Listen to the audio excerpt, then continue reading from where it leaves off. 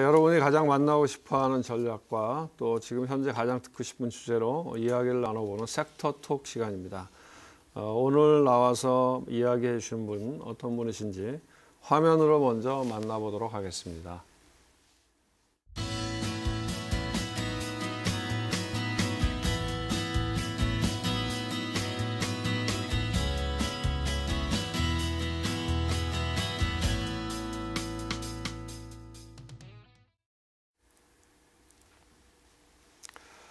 네, 연세대학교 국제대학원 이남우 교수님, 네, 어서 오십시오. 네, 안녕하세요. 네, 반갑습니다. 네, 네. 예. 네, 정말 오래간만인 것 같아요. 예, 저 화면에서 저 단장님 종종 뵀는데 그때 예. 실물로 뵙는 건 꽤 됐습니다. 그, 맞습니다. 어, 우리 이남우 교수님 같은 경우에는 뭐 현장에서 정말로 많은 경험을 하셨던 분으로 뭐 뛰실 때 뭐 국내 삼성증권의 리서치 센터장도 하셨고 메릴린치에서 또 한국 대표도 하셨고 또 제 기억으로는 싱가포르에 가서 헤지펀드도 한번 하셨던 것 같고. 네, 네. 제가 용기를 내서 한 20년 전쯤 그렇죠. 한번 제가 헤지펀드를 만들어서 한 네, sell side buy side 다 하셨고. 예, 네. 또 지금은 뭐 연세대학교 국제대학원에서 또 학생들을 가르치시니까 네, 네. 보면 어떻게 보면 음. 어, 시장에 대해서 어, 이론적인 부분하고 또 실무적인 부분들을 다 경험하신 분이라서 네. 어, 우리 시청자들한테 도움이 되는 이야기를 충분히 잘 전달해 줄 수 있을 거라는 생각이 드는데요. 어, 최근에 뭐 우리 우리나라 시장이 작년에 무지하게 좋았고 그죠? 그렇죠. 올해는 뭐 1년 지금까지는 영 재미가 없잖아요 시장이요. 네, 네, 그것도 어, 9월달, 8월달에는 또 시장이 한번 출렁출렁하고 내려앉기도 했는데요. 어, 이 교수님 전반적으로 어떻게 보고 계십니까? 어, 그러니까 제가 여름에 그러니까 이제 학교에 있으면 좋은 게 이제 방학이 여름하고 겨울 방학이 두 달이 넘으니까 이제 그거를 활용할 수 있는 게 되게 좋더라고요. 제가 이제 네. 학교 간 지 한 5년 됐는데 그래서 이제 여름에 한 두 달 정도 미국에 갔었습니다. 작년에는 이제 코로나 때문에 못 갔고 그래서 실리콘밸리에 주로 있었는데 이제 저희 첫째가 그 근처에서 일을 해서요. 근데 야, 제가 한 20년, 30년 다녀본 중에 미국이 이렇게 진짜 최근에 다이나믹하구나. 네. 기업하고 산업들 보니까. 그래서 야, 이게 미국이 그동안 주가 오른 게 진짜 그 되게 펀디멘털이 뒷받침되는 게 아닌가 이제 그런 생각을 했지만 또 이제 좀 걱정이 되던 부분은 그 8월 제가 이제 중순에 귀국을 했는데 네. 어, 주가가 조정을 1년 동안 거의 한 번도 5% 이상 빠진 적이 없었지 않습니까? 그래서 네. 산장님도 뭐 실제 운영을 오래 네. 하셨지만 뭐 너무 이제 모든 게 다 좋으면 그 자체가 네. 항상 리스크여서 음. 그래서 이제 저는 그때부터 조금 주가가 조정을 받아야 되는 게 아닌가 음. 이제 그런 생각을 했는데 뭐 어느 정도 조정을 받긴 했지만 이제 제가 생각했던 거 틀리게 가는 거는 저는 미국 주가가 조정을 더 많이 받을 줄 알았는데 한국 주가가 더 많이 빠졌습니다. 그렇죠. 그래서 한국 주가는 고점 대비 한 10% 조금 이상 빠졌고 뭐 최근에 하루 이틀은 반등하지만 미국은 한 5% 빠졌다가 거의 다 네. 회복을 했습니다. 그래서 뭐큰 이제 모멘텀이 조금 꺾인다는 측면에서는 이제 뭐 생각한 것처럼 가지만 야 이게 미국 주가가 참 강하구나 이제 그런 음. 생각이 다시 들고 한국은 이제 주가가 어, 뭐 한 10% 이상 그러니까 어떻게 보면 이제 10% 이상 빠지면 뭐 조정이라는 저희가 표현도 좀 쓰잖아요. 그래서 그렇죠. 의미를 좀 단계적으로는 예, 예, 예, 예, 예, 부여하는데 그러니까 이제 그런 것 같아요. 그러니까 진짜 전 세계가 스태그플레이션으로 간다면 음. 저는 뭐 그렇게 생각하지 않지만 그러니까 한국이 이제 경기에 조금 그 되게 민감한 그런 그 경제 체질, 산업 그렇죠. 구조를 갖고 네, 있으니까 네, 네. 조금 더 매를 많이 맞은 것 같고 음. 그다음에 이제 뭐 정치적인 의도는 아니지만 근데 네. 시기적으로 조금 예민할 때 이제 정부가 음. 카카오나 네이버 같은 이제 플랫폼 기업들을 좀 규제를 네, 네. 하니까 이제 시가총액이 그, 그 회사들이 한 70조가 넘었었죠 각각 그래서 그런 부분들이 좀 결합돼서 음. 한국 주가가 좀 더 많이 빠진 게 아닌가 예, 그런 생각이 듭니다. 네. 그 과거에 뭐 이제 리서치 하실 때 외국계 증권사에도 계셨고 또 삼성증권에서도 뭐 해외 세일즈 쪽 뭐 많이 다니셨고 그래서 네. 어, 외국인들의 뭐 투자 성향, 한국에 투자하는 또 투자 심리, 또 본인 직접 또 싱가포르에서 헤지펀드도 하셨고, 그러니까 그런 것들을 어, 상대적으로 많이 이해하고 계실 것 같은데요. 사실 우리 시장에 빠진 뭐 펀더멘탈한 요인들도 있지만 제가 보기엔 뭐 펀더멘탈이 그렇게 나쁜 것 같지는 않거든요. 기업들의 영업이익도 무지하게 많이 늘어나고 있고, 그렇죠. 뭐 매크로적인 측면에서도 나쁘지 않고. 어, 그런 상황인데 사실은 수급이 되게 안 좋다 저는 그렇게 생각을 해요. 네. 한 축은 기관 투자가고 네. 최근 들어서는 최근 들어서가 아니라 뭐 작년부터 올해까지 외국인들이 계속 팔고 있으니까요. 그렇죠. 그 어떻게 보십니까? 왜 도대체 외국인들은 한국 주식 이렇게 팝니까? 음, 어떻게 보세요? 음. 그러니까 이제 외국인들이 이제 한국을 어떻게 생각하느냐 네 이제 네. 그걸 보면 좀 작게 그림을 그려보면 한국하고 대만을 항상 많이 비교하죠. 네. 그러니까 이제 전 세계에서 음. 그 대만을 우습게 보는 나라는 저희밖에 없거든요. 아, 근데 대만이 엄청나게 좋은 회사도 많고 그렇죠. 주주 친화적이고 그렇죠. 되게 TSMC라는 음. 이제 뭐 진짜 월등한 회사가 최근에 음. 더 발전을 했죠. 그래서 대만이 한국보다 펀디멘털이 좀 더 좋지 않나 이제 네. 그런 측면에 있어서 수급에서 저희가 좀 불리하고 음. 그다음에 이제 삼성전자랑 TSMC도 상반기만 해도 시총이 비슷했습니다. 음. 500조 원을 같이 넘나들었는데 삼성전자는 이제 조정을 더 받아서 500조 원 밑으로 미끄러지고 음. TSMC는 이제 지난주에 실적이 발표됐는데 음. 아주 좋았습니다. 네, 네. 그래서 뭐 영, 그 매출 총이익률을 우리 50% 이상으로 갈 수 있다. 음. 그런 발표를 했죠. 그래서 어, TSMC 시가총은 달아나다 지금 650조 원이 넘었습니다. 한 200조 원 가까이 차이가 나서 이제 그런 이제 뭐 두 개 비슷한 국가 아니면 이제 IT 중심의 국가를 놓고 보면 그렇고 그러니까 아시안에서도 한국의 입지가 조금 좀 좁아지는 것 같습니다. 그래서 이제 뭐 10년, 20년 전만 해도 아, 한국이 특히 이제 중국이 개방을 네. 하기 전에는 아시아에서 가장 큰 시장이었고, 그렇죠. 근데 결국 이제 중국이 열면서 중국 시장이 올라와도 그 한국 시장이 메이저 시장이었는데 지금 MSCI 이머징 마켓 지수를 보면 중국이 35%, 대만이 15%, 이제 한국이 13%니까 네. 이제 비중이 많이 상대적으로 위축됐고, 근데 인도가 또 밑에서 올라오고요. 그렇죠. 그다음에 이제 기업들을 봐도 삼성전자가 전엔 앞 압도적으로 이머징 마켓에서 큰 회사였는데 네. 지금은 한 3, 4위쯤 되거든요. TSMC 뭐 중국 기업들 네.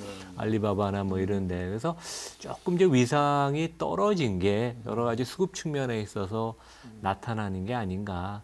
그리고 이제 전반적으로 이머징 마켓에 대해서 투자가들이 다시 계속 고민을 하는 것 같아요. 그 사이클을 뭐잘 아시겠지만 옛날에 이제 자금 배분해 주시고 뭐 그런 입장에서 잘 아시겠지만 이머징 마켓이 어, 선진국 대비 저평가가 돼 있어서 그렇죠. 이게 성장만 좀 된다면 매력적이라고 그래서 그 저평가율이 한 40%까지 최근에 확대됐다고 그런 기사를 봤는데 이제 그동안 보면 지속적으로 뭐 경제 성장 아니면 기업 이익 정치적인 리더십 그다음에 이제 코로나로 많이 망가지면서 아직 전고점을 경제 규모나 여러 가지 모멘텀에 있어서 도달을 코로나 이전으로 회복을 못한 아, 후진 국가들도 많죠. 이제, 이제 그런 문제도 있고, 그다음에 이제 금리가 어차피 조금씩 이제 올라갈 텐데 이머징 마켓, 네네네, 이제 분리하고 그런 면에 있어서 조금. 그러니까 저희가 속해 있는 그런 그림이 운동장에 꼭 좋아 보이지는 않습니다, 되게. 음. 그래서 조금 뭐 한국이 항상 그 유동성이 풍부하니까 팔기가 항상 좋은 시장이어서 네. 항상 문매를 맞으면 먼저 맞고 음. 근데 이제 나중에 또 주가가 반등할 때는 또 이제 급격하게 반등하고 이제 그런 모습을 보였는데 좀 그런 맥락에서 봐야 되는 거 아닌가 그런 생각이 드네요. 예. 네. 그러니까 뭐 전체적으로 봤을 때 선진국하고 이머징하고 비교하면 지금 말씀하신 대로 뭐 통화 정책이라고 하는 측면에서도 뭐 테이퍼링 얘기도 있고 금리 인상 이야기도 있고 하니까 상대적으로 이머징이 처지는데 또 이머징 내에서도 보면 위상이 한국이 점점 작아지고 예. 있으니까 예. 그런 면에서 외국인들한테는 조금 덜 매력적이지 않, 예, 예. 매력이 좀 떨어지는 거 아니냐 이렇게 예. 보신다는 거죠. 그러니까 그리고 이제 이렇게 장이 뭐 강세장일 땐 거버넌스가 별로 큰 이슈가 안 되는데요. 네, 네. 성장을 주로 보니까 근데 장이 안 좋고 조정해 받을 땐 거버넌스가 조금이라도 안 좋으면 그게 항상 트집을 잡히는 이유가 돼서 그건 이제 기업의 지배구조. 예, 예, 네. 지배구조. 그래서 뭐 원래 한국이 이렇게 뭐 거버넌스가 좋은 네. 나라는 아니지만 네. 그냥 이렇게 좀 우호적으로 우호적이지 않게 외국 투자가들이 네. 보는 거고 꼭 그 뭐 기업이 그 자회사를 띄어서 분할해서 음. 상장하는 게 무조건 항상 문매를 맞을 건 아니거든요. 경우에 음. 따라서는 경제적인 타당성이 충분히 있다고 저는 네. 개인적으로 생각하는데 왜냐하면 그거에 대해서 문매를 때리는 분들은 또 음. 기업을 안 다녀 안 다녀 보신 분들이 있거든요. 근데 기업은 또 이유가 있을 수 있으니까. 근데 하여간 그거에 대해서 어, 경영진이나 아니면 그룹 그 뭐 최고 총수들이 진짜 나서서 적극적으로 주가에 대해서 네. 설득을 안 하니까 이제 무슨 음. 사고가 나면 미국은 GM CEO가 매일 나와서 얘기하고 음. 그러는데 한국은 뭐 CEO나 그룹 총수들이 별로 그런 거에 대해서 적극적이지 않아서 이제 그런 것도 도움은 전혀 안 되는 것 같습니다. 네, 예. 그러니까 지배구조라고 하는 측면에서도 상대적으로 좀 여유가 있지 않느냐. 예, 네, 그렇죠. 근데 이제 또 다른 측면에서 보면 어, 그런 것들을 다 반영했음에도 불구하고 네. 어, 우리나라의 밸류에이션은 굉장히 싼 거 아닌가요? 제가 그렇죠. 최근에 그렇죠. 뭐 네. 어디 기사 같은 걸 자료를 보니까 네. 포워드로 어, 네. 뭐 포워드로 해서 우리나라 PR이 한 10배, 네, 11배 이렇게 된다는데 예, 예, 예. 그러면 상대적으로 미국은 20배가 넘잖아요. 그렇죠. 예. 네, 그래서 제가 이렇게 보니까 이머징 평균보다도 낮아요. 음. 그렇게까지 취급받을 는 아니지 않나 이런 생각이 드는데 어떻게 보십니까? 그러니까 이제 전반적인 그 퍼 수준을 놓고 볼 수도 있지만 이제 사이클이 네. 네. 지금 이제 어디에 와 있냐에 따라서 경기 사이클이 예, 예. 그래서 이제 경기가 이제 꺾이고 올해 하반기 내년에 이제 둔화가 된다고 보이면 이제 한 네. 사이클이 좀 꺾이는 거지만 큰 사이클은 아니지만 그러면 이제 valuation이 높을 이유는 없죠. 그래서 이제 대표적인 게 어, 올해 상반기에 화제였던 HMM. 최근에 아주 뭐 어, 예, 예. hot해서 저도 좀 들여다보고 네, 그다음에 네. 이제 실제 좀 더 큰 대만의 에버그린 네, 네, 네. 어, 하고 그다음에 이제 해운사 중에 가장 머스크. 큰 머스크를 네. 들여다봤는데 세 개 회사가 한국, 대만, 덴마크에 있는 시가총액이 이제 뭐 HMM은 한 10조를 좀 넘고 주가가 최근에 뭐 한 40% 조정을 받았죠. 양미, 아, 그러니까 양미의 에버그린은 거의 한 50% 이상 빠졌습니다. 주가 많이 빠지고 머스크도 뭐 주가가 좀 조정을 받았는데 네. 우연치 않게 세 회사가 각기 다른 나라에 있는데 네. 한국, 대만, 덴마크인데 음. 퍼가 다 세 배입니다.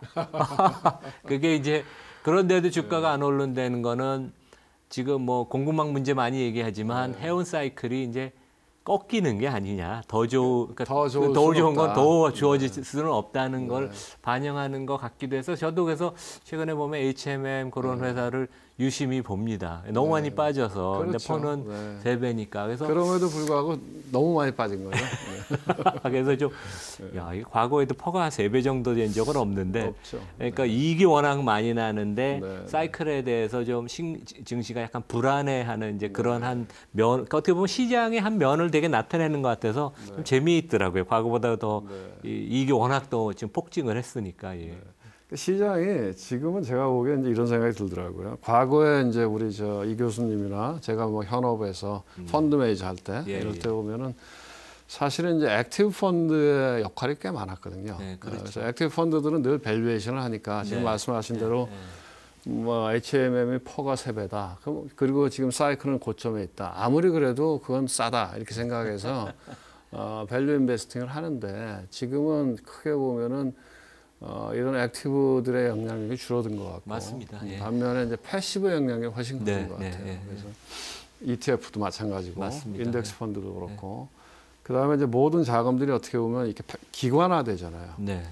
그럼 저도 이제 연금에서 시작을 했지만 무슨 큰 연금들이 종목을 분석하지 않거든요. 아, 그렇죠. 네, 그냥 자산 배분을 하니까 아, 선진국이 좋지. 그럼 선진국 가고 미국이 더 좋잖아. 그럼 미국 overweight라고. 네, 네, 맞습니다. 예, 그래서 중국이 별로 안 좋으니까 예. emerging을 줄여야 되지 않을까? 예, 예. 예 그런 부분도 제가 보기에 예, 상당히 예, 아, 우리나라 주가가 억울하게 피해를 보는 네, 게 아닌가. 네. 저는 그런 생각이 좀 들더라고요. 그러니까 맞습니다. 그래서 중국이 어떻게 보면 이제 뭐 전 세계 성장을 견인했지만 emerging market 하면 이제 중국이 가장 그렇죠. 먼저 떠오르고 그렇죠. 한국은 이제 뭐 IT 제조의 네. 강자 그런데 중국이 뭐 주가가 많이 빠졌다 그러지만 네. 실제 미래가 어떻게 될지 전혀 예측을 못 하니까 정치체가 사실 네네 그렇죠. 예, 예. 네. 그 정부조의 간섭이 어차피 당분간 계속될 테니까 주가를 평가하기가 과연 이게 많이 빠졌다고 저, 저렴하다고 주장할 수 있는지 그건 전 잘 모르겠습니다. 그래서 지금 반대편에 있는 이제 미국 사람들은 더 그렇겠죠. 서양 사람들은 이제, 이제 그 사람들 입장에서 보면 이제 좀 이해는 가죠. 그렇죠. 예. 그 얘기 나오신 대로 이제 뭐 삼성전자 이야기도 나왔고 또 아까 뭐 플랫폼 기업들 얘기도 나왔는데